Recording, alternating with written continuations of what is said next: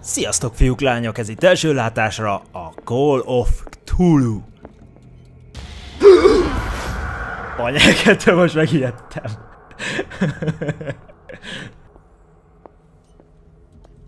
Aj,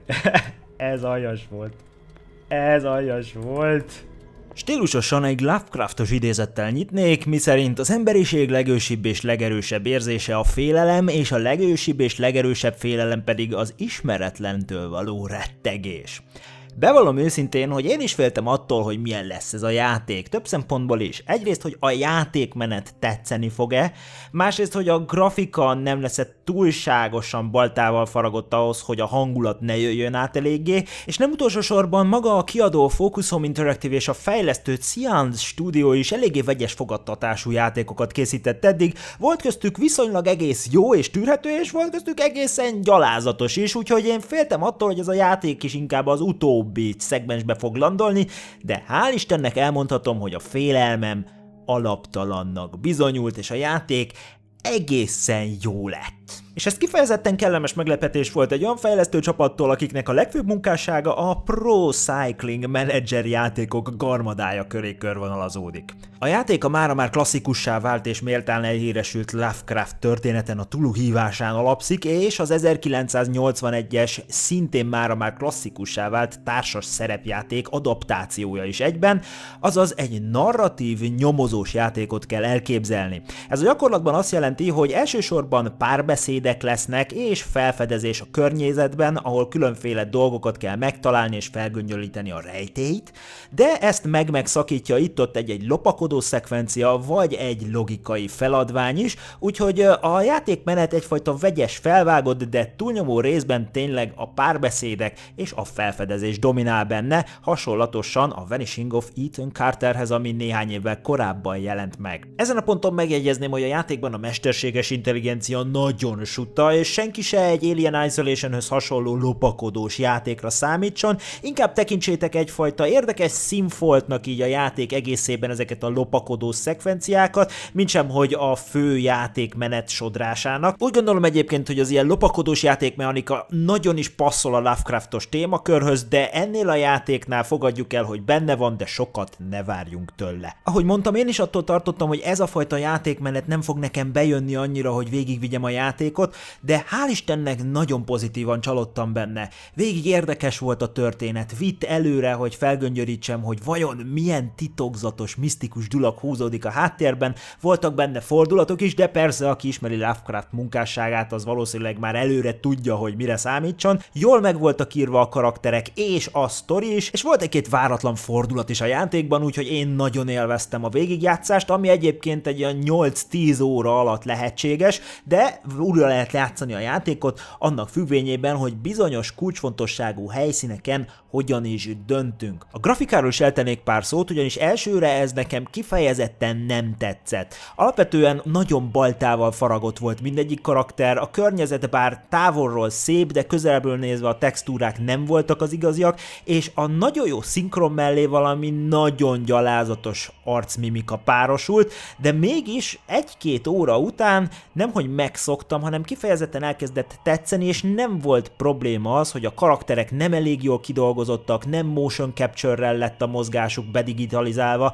és egyszerűen elkezdtem szeretni a játékot, annak ellenére, hogy grafikailag azért nincs a toppon, és ez is nagyon jó példázza, hogy a grafika igenis másodlagos szempont, hogyha mögötte egy jó játék és egy jó történet húzódik. Szóval a grafika elsőre lehet, hogy eléggé karcos, de a hangulatot és az élményt egyáltalán nem szabotálta esetemben. A játékban a társasjáték nyomdokait követve helyet kapott egy talentrendszer, ahol különféle képességeket fogunk tudni fejleszteni a történet előre haladtával. Itt olyan képességek vannak, mint párbeszédkészség, pszichológiai érzék, erőllét, nyomozási készség, valamint, hogy mennyire tudjuk megtalálni a környezetben eldugott, ilyen rejtett tárgyakat, és hogyha ezt a képességet fejlesztjük, akkor meglátunk majd mindent a környezetben, illetve külön jelzi is a játék a sarokba világítva egy ilyen kérdőjellel, hogyha van valami rejtett dolog az adott szobában, de hogyha nem elég fejlett ez a készségünk, akkor persze nem fogjuk őket megtalálni. Ezek általában apró kis nyomok, sztori elemek, amik esetenként hajlamosak újabb lehetőségeket megnyitni egy-egy párbeszéd során, valamint esetleg a játék végkémen végkimenetet is befolyásolhatják minimálisan, de alapvetően ezek a talentek mind-mind azt befolyásolják, hogy egy-egy döntési helyzetben milyen lehetőségeink lesznek majd, és mennyire fogunk tudni egy-egy irányba elmenni így a sztoriban. Illetve van még két extra talent, ezek az okkultizmus, valamint a medikus készség. Ez utóbbi kettőt csak akkor tudjuk fejleszteni, hogyha a környezetben különféle tárgyakat megtalálunk, megvizsgálunk, amihez persze elengedhetetlen, hogy mondjuk megtaláljuk őket. Tehát érdemes tényleg minden kis zugba benézni, mindenkivel beszélni, és hogyha alapvetően ez valakinek nem tetszik, akkor annak nem is tudom ajánlani a játékot. Viszont pozitívum, hogy ez mind-mind érdekes sztorikon alapszik, de azt hozzá kell tennem, hogy angol tudás nélkül senki se álljon neki a játéknak, mert nagyon sokat kell olvasni, amúgy jó leírásokat, és szép lassan lassan elmélyed a játékos a Lovecraftos univerzumban, ami egyébként számos easter is tartalmaz Lovecraft egy és egyéb munkásságaiból. És még egyszer mondom, a tulufanok pedig egyszerűen parádézni fognak a gép előtt, miközben játszák a játékot. Van még a játékban ezen felül egy józan ész rendszer, ugyanis a karakterünk szép lassan, ahogy folyamatosan találkozik a Lovecraft mitosszal, valamint a különféle másvilági kreatúrákkal, elkezd megőrülni, és bizony-bizony ez is egyfajta választás a játékban, hogy mennyire hagyjuk a karaktert elmélyedni az őrületben, ugyanis ez is befolyásolhatja majd a játéknak a végkimenetelét bizonyos fokig. Az őrület egyébként végig kíséri a játék egészét, kezdve azzal, hogy a főhősünk már alapból háború utáni posztraumatikus stressz szindrómától szenved, altatókon él és masszív alkoholista is még mindezen felül, ami csak egyre rosszabb lesz a földön túli misztikus dolgokkal való találkozások miatt a történet előre haladtával.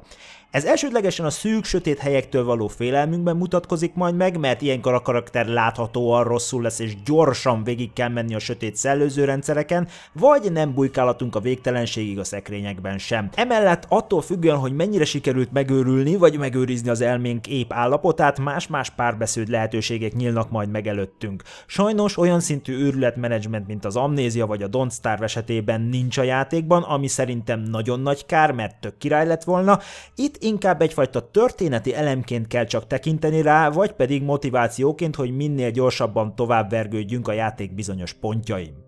Azért itt hozzátenném, hogy ezek a mechanikák nincsenek túlságosan jól elmagyarázva, tehát amikor elkezdjük a játékot, nem fogjuk tudni, hogy most mire is érdemesebb talentpontot raknunk, és melyik mit fog befolyásolni a játékban, hogy azt sem látjuk előre, hogy ezek mennyire fognak dominálni a döntéseink során. Én nekem az volt a tapasztalatom a végigjátszás során, hogy a nyomozási készséget, valamint a rejtett dolgoknak a felfedezését érdemes tolni, és mind az okkult, mind pedig a medikus készségeket érdemes, ahol csak tudjuk tudjuk fejleszteni a különféle dolgok felfedezésével, bár érzésem szerint az okkult dolgok még így is fontosabbak a játék szempontjából, vagy legalábbis érdekesebbek, mert ugye ott jönnek a képbe a különféle szektás, meg egyéb uh, tulus cuccok. Na, szóval, hogy nincsenek ezek a mechanikák túlságosan jól elmagyarázva, és egy másik résznél is a játékban ez tetten érhető, amikor például lopakodnunk kell egy ilyen másvilági Shambler elől, hogy ott hogyan tudjuk azt legyőzni. Tehát itt-ott felszedhetünk ilyen utalásokat, vagy esetleg segítséget, hogy majd mit kell csinálnunk, de abszolút magunkra vagyunk utalva, hogy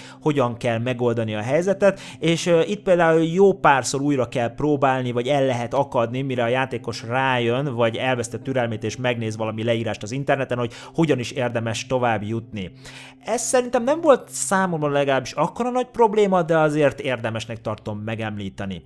A sztorival kapcsolatban már dicsértem, hogy nagyon jó a történet, és tényleg folyamatosan viszi előre a játékost, de azt hozzá kell tennem, hogy elég lassan indul be a történet. Tehát az első két-három órában ne nagyon számítsatok túl sok mindenre, szép fokozatosan majd így elszabadul az őrület, de aztán nagyon durva lesz a játék. Ha látta valaki az Őrület torkában című filmet, na valami olyan léptékű elmebaj vár ránk is így a játék során, és mondom, nagyon fordulatos, nagyon érdekes, és tényleg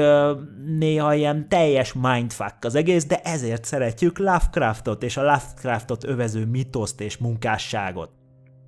Egyébként, ha már horror játékról lévén szó, ez a klasszikus Lovecraft horror sémát követi. Tehát nincsenek benne nagyon jumpscarek se, jó, egy vagy két helyen talán, de végig a hangulat és az atmoszféra az, ami dominál, nem is nagyon látunk szörnyeket, egyet kivéve, hanem tényleg a folyamatos utalás arra, hogy valami nagy, valami földön túli, valami olyan dolog, amit emberi elmével föl sem foghatunk, így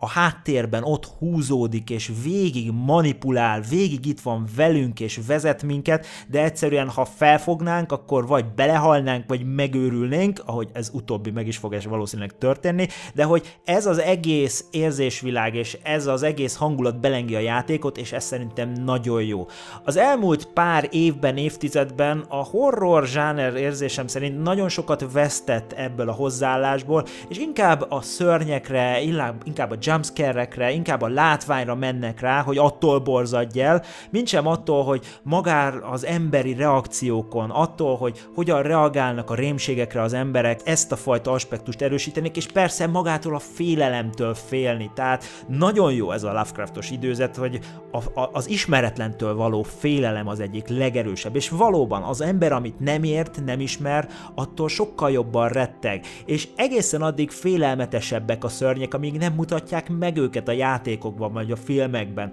és ezzel például nagyon jól operál a Lovecraftos mitológia, és ez a játék is, úgyhogy ebből a szempontból is csak méltatni tudom. Még egy dolog így a vége felé, az pedig az ára a játéknak. A 45 eurót egy picit soknak érzem érte, főleg annak tükrében, hogy más hasonló régebbi játékok ennek az árnak a töredékért, vagy egyenesen bagóért szerezhetőek be, és úgy azért ez a 45 euró tényleg soknak érződhet, főleg akkor, ha csak egyszer játszuk végig a játék játékot, de alapvetően több végigjátszás is benne van a Call of Tulu-ban. Alapvetően erre is mentek rá, tehát a különféle döntéshelyzetek más-más alternatívákat eredményeznek, majd attól függően, hogy milyen talenttel megyünk, vagy mennyire ügyesen oldjuk meg az adott párbeszédeket, vagy a rejtvényeket, és ez például kifejezetten tetszett, hogy egy-egy szituációt helyenként többféleképpen is meg lehet oldani, attól függően, hogy tényleg milyen képességek birtokában vagyunk, vagy pedig, hogy melyik megoldási utat találjuk meg előbb, vagy melyiket tartjuk szimpatikusabbnak. És ez például tényleg érdekes, és másodszor esetleg, ha valaki nagyon elszánt, harmadszor is végigjátszhatóvá teheti a játékot,